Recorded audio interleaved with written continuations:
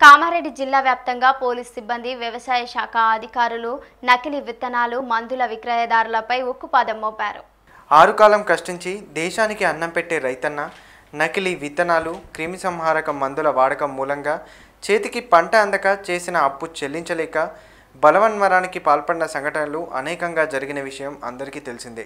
ఎండనక వాననక రాత్రనక పగలనక ఆరు కాలం కష్టించి చివరకు పంట చేతికొచ్చే సమయానికి పక్షుల నుండి అడవి జంతువుల నుండి పంటను కాపాడి అన్నదాత మన సమాజానికి అన్నం పెడుతున్నాడు. దేశానికే వెన్నుముక అయినటువంటి అన్నదాతలను మోసగించి నకిలీ విత్తనాలు కల్తీ క్రిమిసంహారక మందులను అంటగట్టి జేబులు నింపుకొని పబ్బం గడుపుకుంటున్న అక్రమార్కులపై జిల్లా అధికారులు ఉక్కుపాదం మోపుతున్నారు.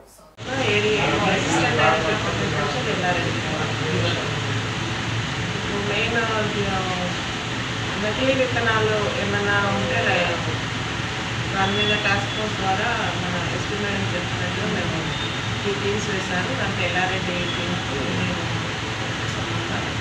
రికమెండ్ చేస్తూ వాళ్ళ వెరిఫై చేసాం షాప్స్ అంటే ఇంకా సీజన్ స్టార్ట్ కాకపోవడం వల్ల ఇక్కడ కూడా స్టాక్ లేదు.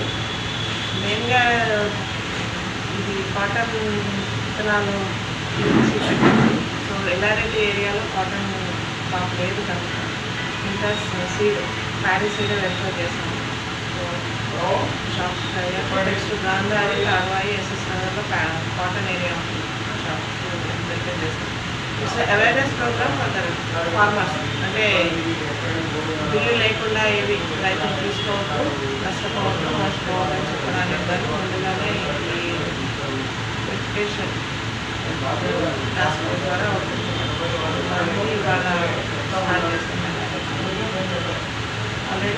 processing. These are jobs with them and not just necessarily open